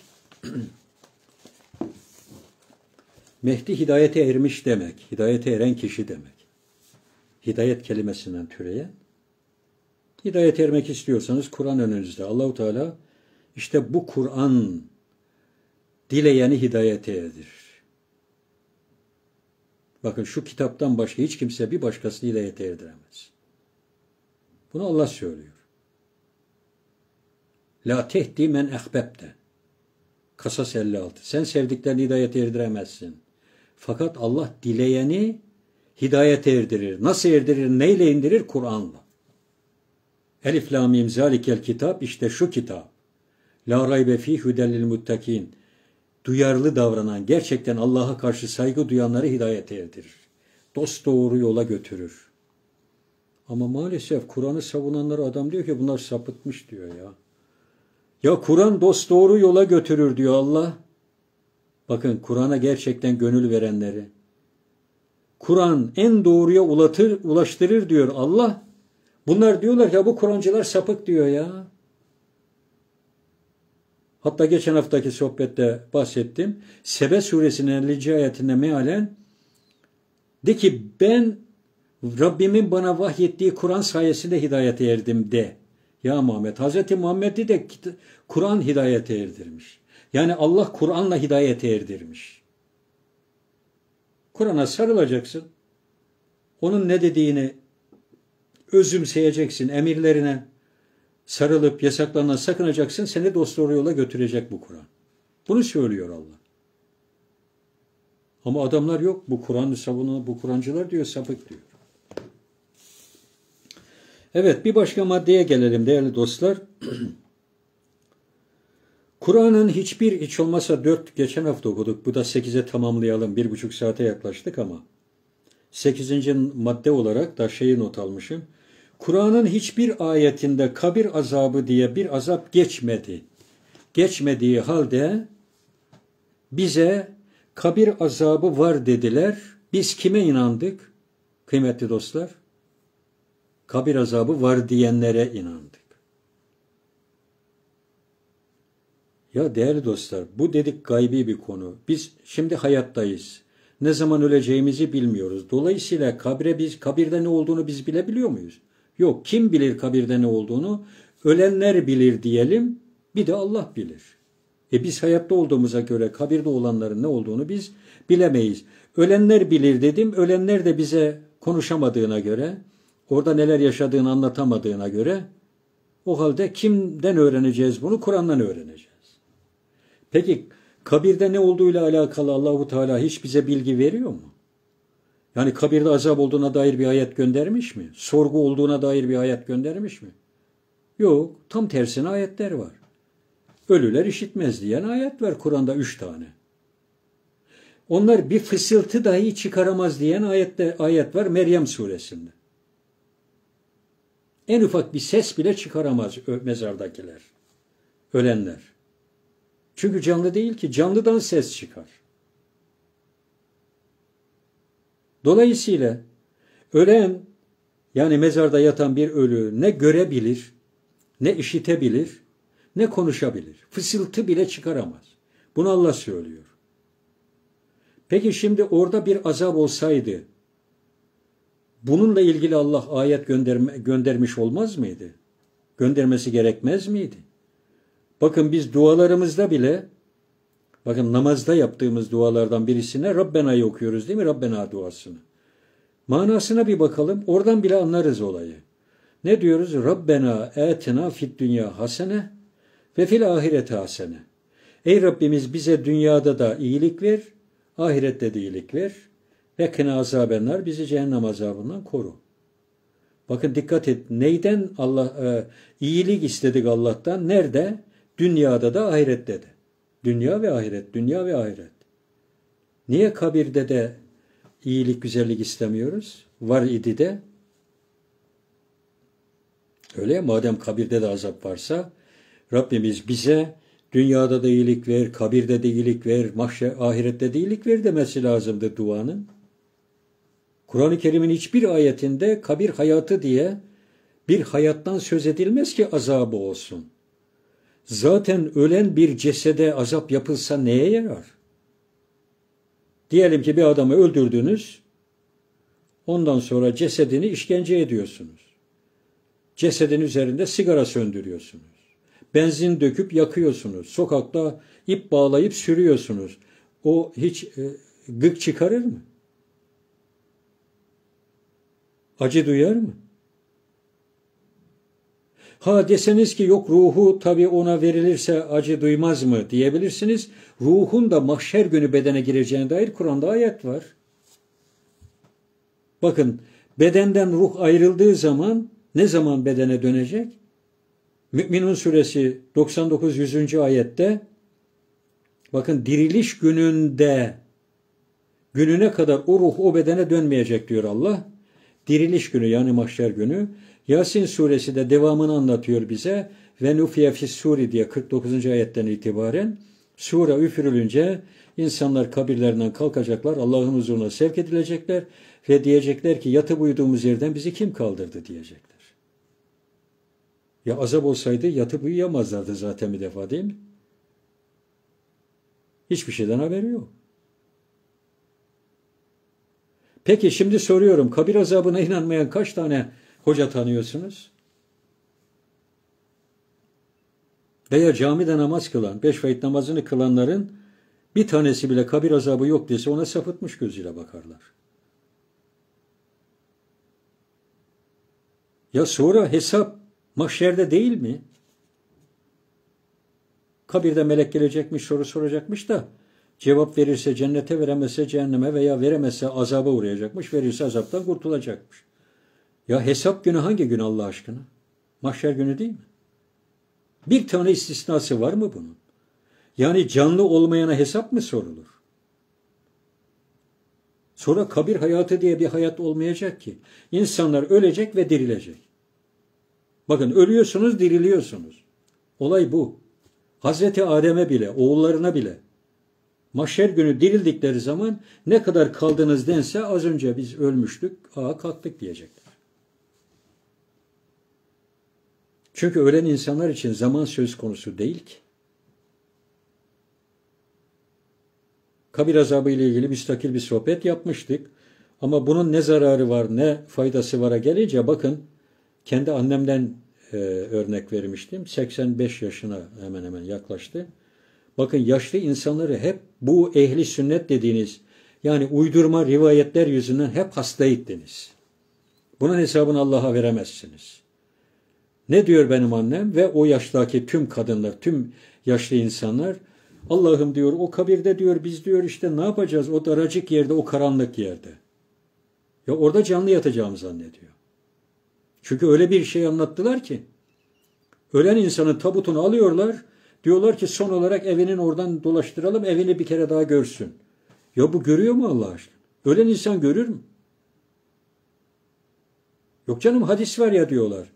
Peygamber buyurdu mezar cenazeye gelenleri bile görüyormuş.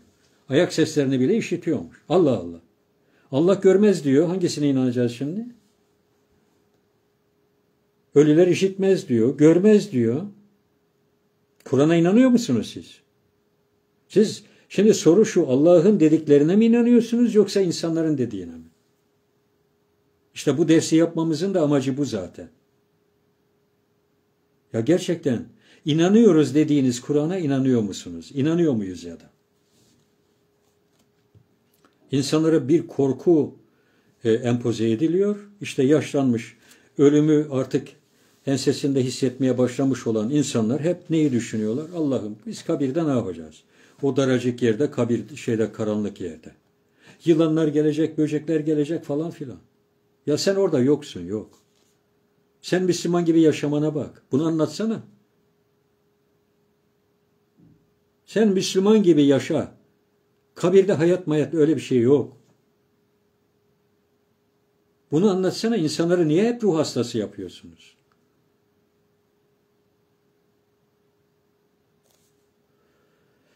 Evet burada bir arkadaş böyle toparlayacağım. Bu sekizinci madde üzerine çok konuşabiliriz.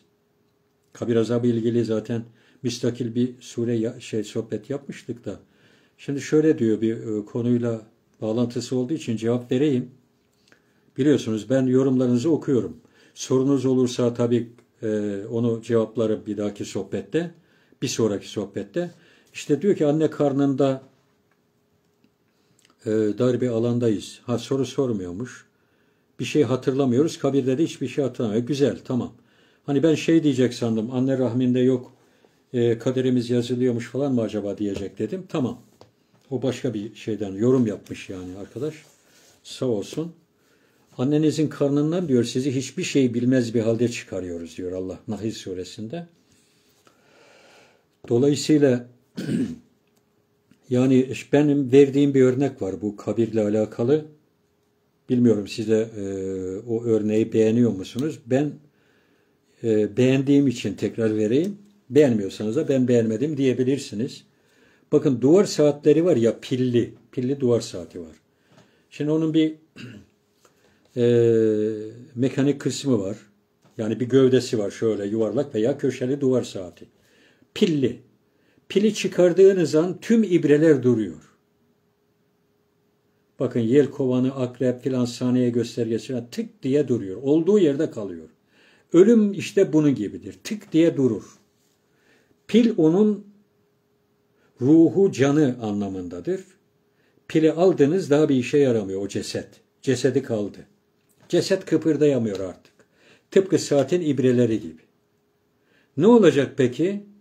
O pil sura üfürülünce bakın mahşer gününde, diriliş gününde ayetler onu söylüyor. O gövdeyle tekrar o saatle birleşince pili takıyorsunuz kaldığı yerden devam ediyor değil mi? Kaldığı yerden dikkat edin. Nerede durmuştu? Filan saatte. Pili bitti orada durdu değil mi? Yeni pil aldınız misal. Pili taktınız tek tek tek çalıyor. Kaldığı yerden başlıyor değil mi dönmeye? İşte ölüm de tıpkı bunun gibi. Ölen insanın o ruh yani pil saatten alınır gibi alınıyor ondan. Ölümsüzdür çünkü ruh. Bilmediğimiz bir yerde onunla ilgili ayet yok çünkü Kur'an'da. Rabbimizin bilgi vermediği konuda biz ne, ne diyebiliriz? Gayba taş atamayız. Allah katına bir yere yükseliyor ama e, mümin olanların ruhlarının yükseklere çıkacağına dair ayetler var Kur'an'da. Diriliş gününe kadar bir yerde tutuluyor. Uykulu uyku halinde. Yani mahşer gününde o geliyor ruh bedene giriyor ve ayağa kalkılıyor zaten. İnsanlar kabirlerine kalkıp Allah'ın huzuruna sevk ediliyor. İsteyerek, istemeyerek. Olay bu. Sanki sanacak ki az önce öldüğüm hemen geldim Allah'ın huzuruna. Bu kadar. Evet bir buçuk saati açtık kıymetli dostlar. Ee, çok daha konuşacağımız şeyler var. Bunları biz niye anlatıyoruz? Sekizinci maddede kaldık. Kabir azabı ile ilgili en son konuştuk. Haftaya inşallah aynı yerden devam edeceğiz. Yani gelin görün ki bize bunların tersi üretildi değil mi şu anlattıklarımız? Ne dendi? Kadın cuma namazı kılmaz. Hatta öyle şeyler de uydurulurdu ki biz çocuktuk. Erkekler camiden çıkmadan da kadınlar öğlen namazı da kılamaz evinde. Hani kadınlar zaten cuma farz değil diyorlar. Öğlen namazı kılacak evinde. Evinde de erkekler cumadan gelmeden şey çıkmadan kılamazmış diye de öğretirlerdi. Şimdi kadınların cuma namazı kılmalarına zaten şu anda camilerimiz bizim uygun değil. Onu da söyleyelim. Bu bir gerçek. Ee, ama yer ayarlanabilir. Nasıl ki teravih namazına bakın hiç önemi olmayan bir hatta yani e, varlığı yokluğu bile tartışma konusu olan teravih namazına bile yer ayarlanıyor da Allah'ın emrettiği, farz kıldığı cuma namazına niçin hanımlar için yer ayarlanmıyor? Ama bunu da durup dururken ayarlamazlar. Her ilçede, her vilayette 3-5 kadın gitse dese ki ben hakkımı arıyorum, bana yer ayarlayacaksın efendi. Dese bu böyle bir baskı oluşturulsa ha buna ivedilikle bir çare aranır. Geçen hafta da Cuma'dan bahsettik. Bir tanesi bana diyor ki hanımını al da git diyor camiye. Yani hakaret edercesine. Yani sen git o zaman diyor yani. Ya götürürsünüz ne var? Arabanız varsa bir caminin avlusunda, yakınında bir yere, dışarıya zaten ses veriliyor. Arabanın içinde bile oturur, oturduğu yerden doğru hutbeyi dinleyebilir, cuma kılabilir. Cuma mutlaka caminin içinde kılınacak diye bir şey yok. Cuma cemaatle kılınan namaz demek. Camide kılınan namaz demek değil. Cuma'nın şartı camide kılmak değil, cemaatle kılmaktır. Olay budur. Çare bulunur. Ha, en azından bir ses getirir. Bulunduğunuz mahallede, semtte neredeyseniz 5-10 tane kadın bir araya gelirsiniz. Bir şekilde cuma için hakkınızı ararsınız. Ha bunlar ne arıyorlar? Bak cuma için yer arıyor. Ha cuma kadınları da farzmış. Bak bunlar böyle söylüyor diye en azından ne olur? Bir gündem oluşur. Bir katkınız olur. Allah katında da birilerinin bir şeyler işitmesine sebep olursunuz. Allah Allah biz böyle bir şey bilmiyorduk diyenler ha öyle miymiş demeye başlarlar. Bakın Filistin'de biz neler öğrendik? Bakın Batı dünyası insanlığı öğrendi. Esir takasında gördük değil mi? İsrail askerlerinin esirlere yaptığı muameleyi gördük. Efendim e, Filistinli efendim askerlerin esirlere muamelesini gördük değil mi? Aralarında dağlar kadar fark vardı. İsrailli esirler kucaklaşarak, gülücüklerle el sallayarak Filistinli askerlerden ayrıldılar. Bakın pek çok insanın da Avrupa'da Müslüman olduğu, İslam dinini araştırmaya başlandığı söyleniyor. Güzel bir tavır, bir olumlu hareket nelere efendim sebebiyet verebilir? İşte Allahu Teala onun için kim diyor e, Nisa suresi 85. ayette hayırlı bir işe şefaat ederse yani öncülük ederse ona ondan pay verilir diyor. Yani sevap payı. Kim de kötü bir işe öncülük ederse ona da günah payı verilir. Bu böyledir. Onun için söylemden çok eylemle İslam yayılır. İşte Filistinliler hem vatanını koruyorlar hem de çok güzel bir efendim İslam, Müslümanlık mesajı veriyorlar. Duruşlarıyla, ahlaklarıyla. Rabbim onları muzaffer eylesin. Onların yar ve yardımcısı olsun. Bizlere de gafletten uyanmayı nasip eylesin bir an önce. Cenab-ı Hak günahlarımızı bağışlasın. Yüce Rabbim bizden razı olmadan canımızı almasın. Yüce Rabbim Kur'an'ı anlamayı ve uygulamayı bizlere de nasip eylesin. Yüce Rabbim özellikle şirk günahına düşmekten, şirk işlemekten bizleri muhafaza buyursun. Bize bu dünyada da ahirette de iyilikler nasip eylesin. Bizi cehennem azabından muhafaza eylesin. Anne babamızı, kardeşlerimizi, çocuklarımızı, ailemizi ve bütün Müslümanları bağışlasın. Bizlere Müslüman gibi yaşamayı nasip eylesin. Ülkemizi, ordumuzu, yurdumuzu, milletimizi, memleketimizi her türlü dahili ve harici düşmanlardan muhafaza eylesin. Hepinize şimdiden hayırlı cumalar diliyorum. Hayırlı geceler. Ee, hayırlı cumalar olsun. Allah'a emanet olun. Sohbetimizi inşallah paylaşırsınız. Hakikaten bu konuda çok duyarlı arkadaşlarımız var. Geçen haftaki sohbetimiz 94 veya 95 paylaşım yapmış. Kimileri hakaret ediyor işte kimileri olsun. Belki bir kişinin 100 kişi beğenmez de bir kişi beğenir dinler bir cümle kapar oradan. Bir sorgulamaya başlar. O da bizim sayemizde olursa bakın hayra vesile olmuş oluruz. Allah'a emanet olun. Hepinize hayırlı geceler diliyorum. Hoşçakalın. Haftaya aynı saatte Cenab-ı Hak buluşmamızı nasip eylesin. Allah'a emanet olun.